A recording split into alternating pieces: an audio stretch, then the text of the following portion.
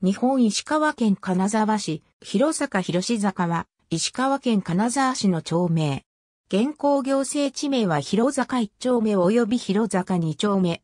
郵便番号は920-0962。金沢市の中心部に位置し、古くから官庁街として知られている。金沢市の繁華街である高林坊や片町に隣接している地域である。広坂の地名の由来としては、剣徳園の南側にある坂道の名前からとされている。加賀藩の時代には、現在の広坂周辺には武家屋敷が多く存在していた。当時、この坂道がかなり幅の広いもので次第に広坂と呼ばれるようになったとされる。現在は出羽町交差点から広坂交差点が坂の名前としての広坂である。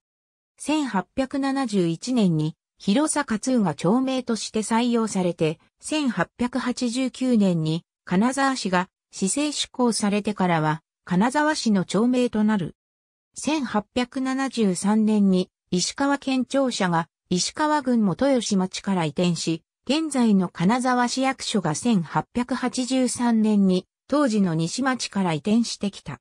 また、1874年に石川県修正学校が広坂2に開校したことから、明治時代からは、広坂は官庁街及び文教地区の体裁を持つようになった。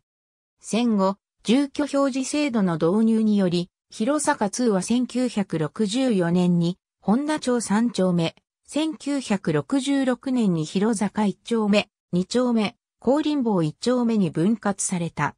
なお、2003年10月1日に金沢市の旧町名復活運動により広坂一丁目の一部が柿の木畑として復活している。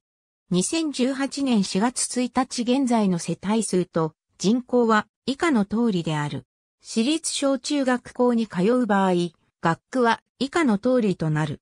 石川県政記念誌の記芸品館4校、記念文化交流館。ありがとうございます。